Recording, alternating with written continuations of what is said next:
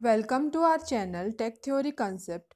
In this video, we are going to discuss about what is disk scheduling. So, let's start. Disk scheduling is used to schedule the order of input and output. So, why we do disk scheduling? Because it is the responsibility of operating system to use every hardware of computer efficiently. So, disk scheduling is an important concept to use the disk efficiently by operating system. It is also improve the access time and disk bandwidth.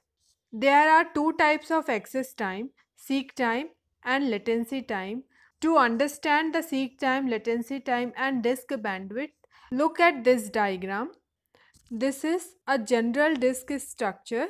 As we know that magnetic disk provide a bulk of secondary storage for a computer system. In magnetic disk, each disk platter has a flat circular shape.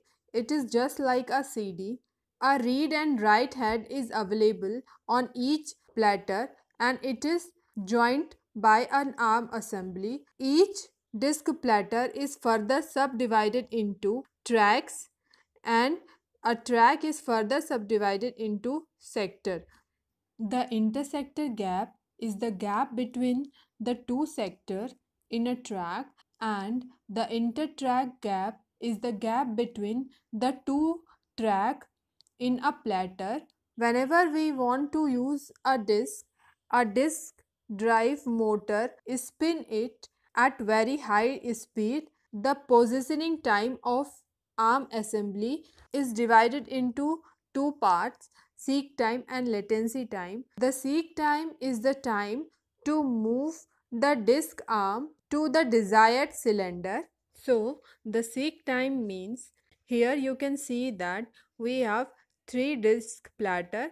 If you want any input or output from this disk, you should know that the data is present in which cylinder. So, the time to move the disk arm to the desired cylinder is known as seek time and after reaching the desired cylinder suppose the disk head is here and the data is present in this sector and if the disk is rotating in clockwise direction so the time to reach this sector under the head position this time is known as rotational latency or rotational delay.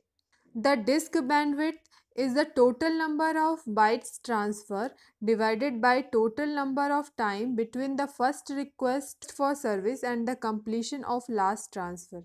Now we will see how we do disk scheduling in a computer system.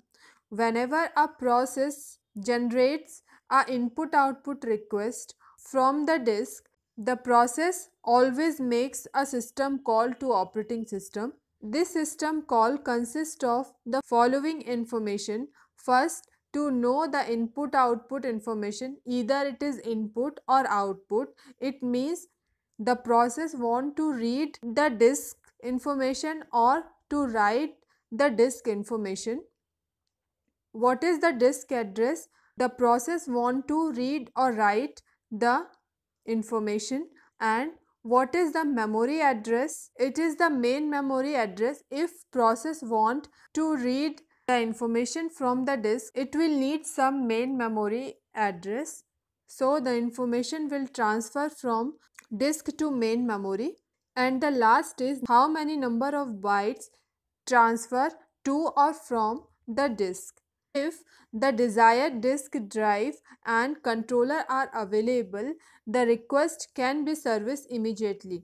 The disk controller is a controller that works between the computer and the disk to control or to transfer the data through the bus. If disk controller is not free, then a queue is created for every request to be serviced by the process. Then operating system chooses which pending request to service next. The selection of pending request can be done by following techniques.